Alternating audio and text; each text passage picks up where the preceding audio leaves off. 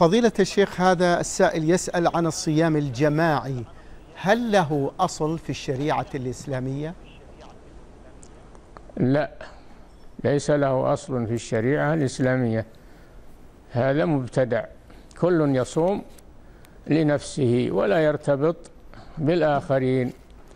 نعم إذا صادف أنهم اجتمعوا في مكان وهم صيام وأرادوا أن يفطروا فلا مانع أن يفطروا جميعا. من غير ربط موعد آه، يعتقدون أنه أفضل. إنما هذا إذا جاء صدفة الاجتماع صدفة أو دعاهم أو دعاهم ليفطروا معه لا بأس بذلك. أما أن يتخذ هذا عبادة فلا أصل له. نعم. طيب.